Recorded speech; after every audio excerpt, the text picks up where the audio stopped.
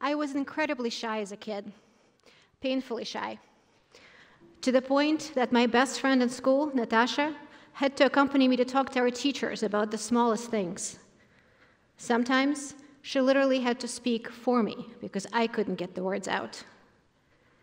The years went by. I came to the US. I learned to speak English. And Natasha remained over 4,000 miles away. She could no longer speak for me. I had to figure out a way to speak up for myself.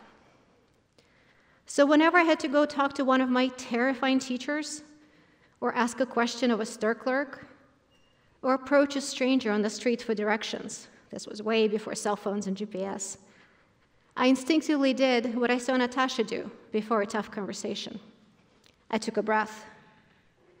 This helped me feel more grounded and allowed my mouth to make words.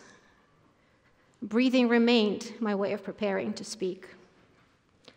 In college, I fell in love with the study of psychology, in part because it helped me understand some of my own experiences and it helped explain behavior of people around me. I went on to graduate school, became a clinical psychologist. It turns out psychologists teach a lot of breathing. When you're feeling scared, overwhelmed, unable to speak, the one clear thought running through your mind this is awful. Now what? Turning to the breath feels right. But why does it help us feel more grounded in the face of a challenge? The breath is a gateway to your own personal superpower that acts as your best friend, helps you rise to the challenge and be at your best. The breath stimulates something called heart rate variability, not to be confused with heart rate. Heart rate variability is key in allowing your body to respond to stress in healthier, more helpful ways. We can use the breath to train heart rate variability, to gain flexibility and resilience in the face of a challenge. Heart rate variability is that superpower that we all carry with us and can learn to harness when it matters most. Heart rate variability is the change in time that passes from one heartbeat to the next. If you were to take your pulse, go ahead, do it with me. On your wrist or on your neck, you would feel a thump, thump, thump. Each one of those thumps is a heartbeat. It's the left ventricle of your heart contracting, sending oxygenated blood out to your body. On the EKG, it is represented as the R peak. If you were to count those thumps or heartbeats, you would probably count somewhere between 60 and 80 of them in a minute. That is your heart rate. But the time that passes from one heartbeat to the next is changing all the time. Sometimes the space between heartbeats gets longer. The heartbeats are coming further apart and your heart rate is slowing down. And then space between heartbeats gets shorter. Your heartbeats come closer together, and the heart rate is speeding up. If your heart were to beat with 882 millisecond intervals at all times, your heart rate would be 68 beats per minute. And if your heart were to beat with 674 millisecond intervals at all times, your heart rate would be 89 beats per minute. Just like the time interval that passes from one heartbeat to the next is changing all the time, so does your instantaneous heart rate. Your heart rate is speeding up and slowing down, increasing and decreasing all the time. You'll see a plot of this on the next slide. Those increases and decreases of your heart rate are heart rate variability. The greater your heart rate variability, or HRV, the healthier and more resilient you are. Let me be clear heart rate variability is not an increase in your heart rate when you're going for a run. Heart rate variability is a beat to beat change in your heart rate that happens all the time, at rest or any other time. Your heart rate, averaged over a number of beats, may be the same, but heart rate variability, the way in which your heart rate accelerates and decelerates over that period of time, may be higher or lower. Here, you see two people's heart rate. The average heart rate for both of them is the same, about 70 beats per minute. What differentiates them is heart rate variability. The red signal is the plot of instantaneous heart rate, the way your heart rate goes up and down, representing heart rate variability. The blue signal is the breath, and we'll come back to that in a bit.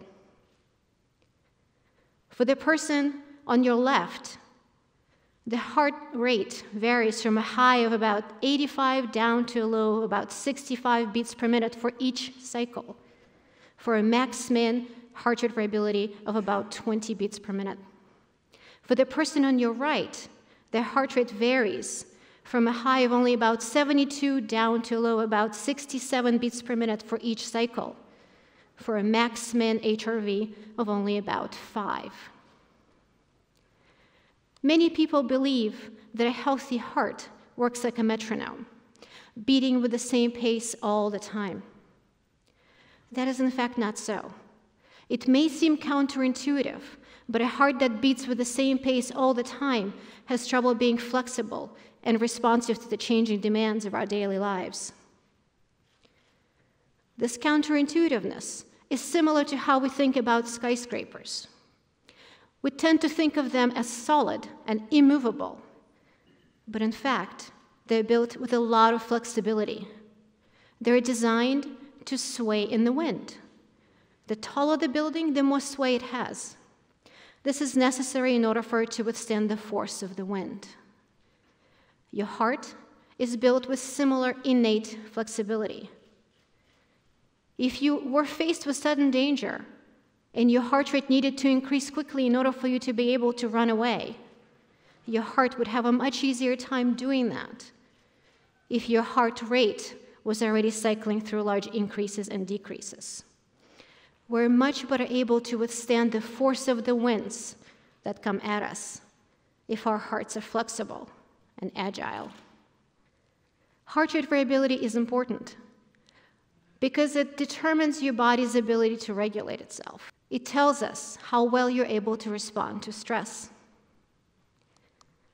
Research shows that higher heart rate variability is strongly associated with better mental and physical health, greater resilience in the face of challenges, better mental and physical performance. People suffering from conditions like anxiety, depression, trauma, chronic pain, headaches, high blood pressure, gastrointestinal disorders benefit from heart rate variability training. HRV training also helps us improve physical endurance and reaction speed, ability to make decisions and problem solve under pressure, and respond quickly and appropriately to sudden changes in our environment when life throws curveballs at us. Imagine that you're preparing for an important meeting with a person who may be difficult. You know the, the meeting would be difficult, and you think you are prepared.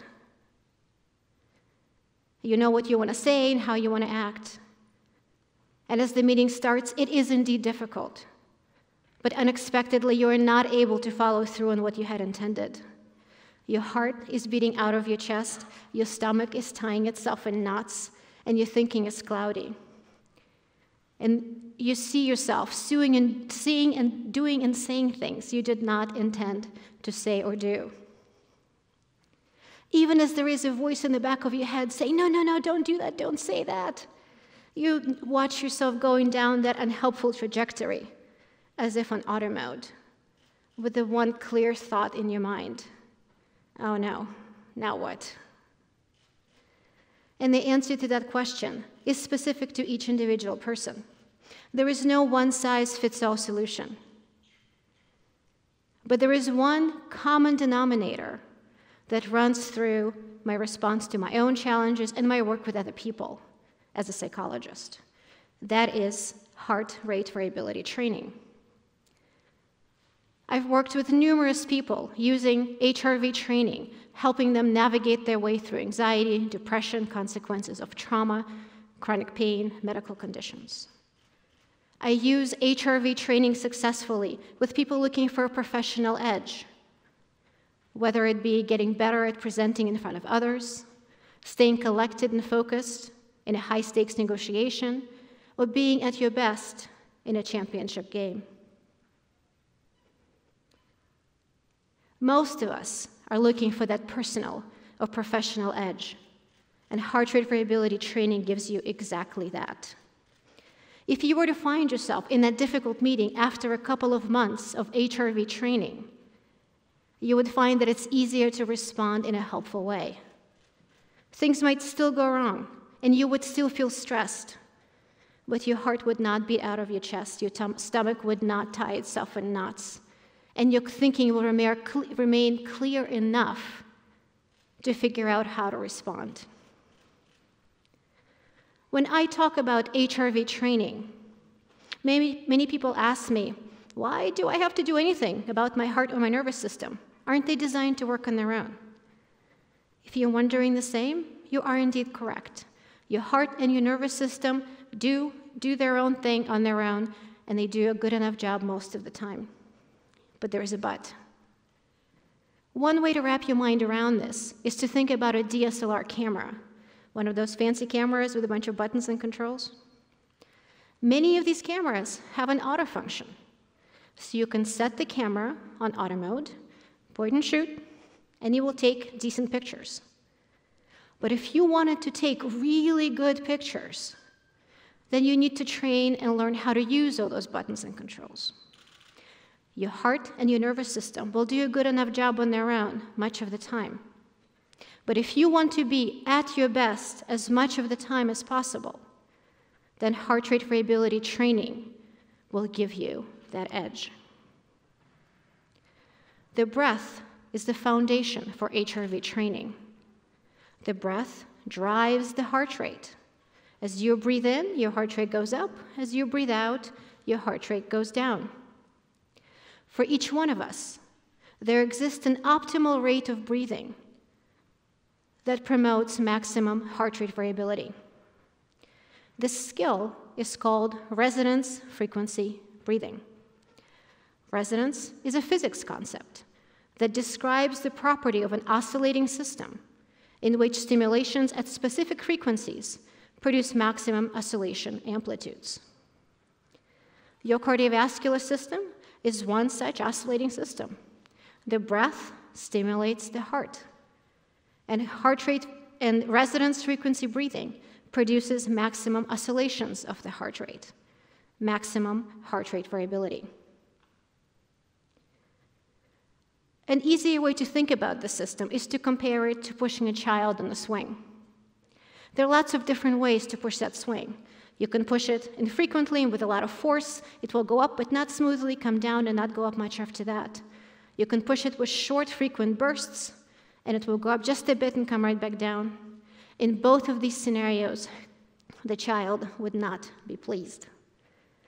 Or you can find a regular, measured way of pushing the swing, allowing to go up as much as possible and come down as much as possible each time, maximizing the delight of the child. Your breath stimulates the heart rate in the same way as a person pushing that swing. Resonance frequency breathing allows your heart rate to go up as much as possible on each inhalation, come down as much as possible on each exhalation. Over time, training your nervous system to become more flexible and more resilient. For most of us, resonance frequency breathing rate is somewhere between four and seven breaths per minute. Up until recently, if you wanted to do HRV training, you needed to find a certified professional who would use their uh, clinical grade equipment to measure your HRV, determine your resonance frequency breathing rate, and do training with you weekly in the office. And while there are still great reasons to see a trained professional, recent technological advances now allow you to bring HRV training home. there exist a number of devices that connect to phone apps, allowing you to make HRV training accessible and easily available at home. Depending on which app you choose, you'll be able to do some or all aspects of HRV training, from measuring your HRV and tracking its progress over time, to determining your resonance frequency breathing rate, to doing HRV training with biofeedback. Since it is not possible for us to determine all of your resonance frequencies right now, let's practice breathing at six breaths per minute. That rate gets close enough to resonance frequency for most people. We'll use low and slow breathing as a guide. We'll practice slow and slow breathing first, and then we'll add in a breath pacer that will pace your breathing at six breaths per minute with four seconds in and six seconds out. To breathe low and slow, we're going to shift the breath from the chest to the belly. Take a normal size, comfortable, slow breath in, as if you're smelling a flower. There is no need for a particularly big or deep breath. And then you're going to exhale slowly and fully, either through the nose or through pursed lips, as if you're blowing out a candle. So let's try that together. Breathing in, as if you're smelling a flower. Breathing out, as if you're blowing out a candle. In, out. And adding in a pacer, breathing in as the ball goes up, breathing out as the ball goes down. In, out.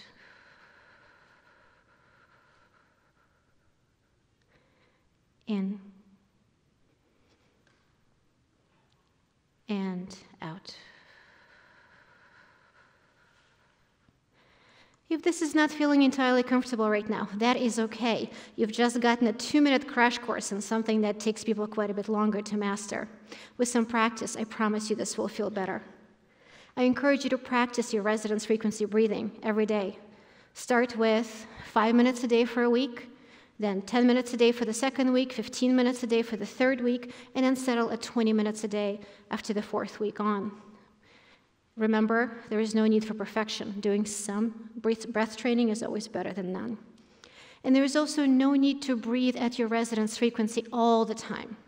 This breathing skill is reserved for your practice times and for times of increased challenge when you'd like to remind your nervous system to regulate itself.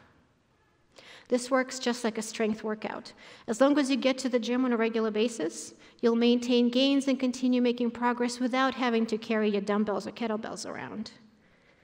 And if after a couple of months of uh, working out, your friend asks you to help them move a couch, it will be easier for you to lift that couch.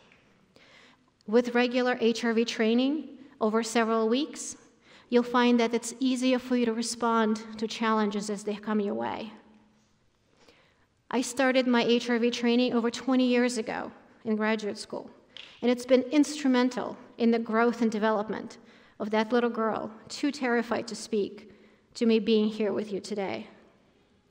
So the next time you find yourself facing a difficult situation, asking yourself a question, now what?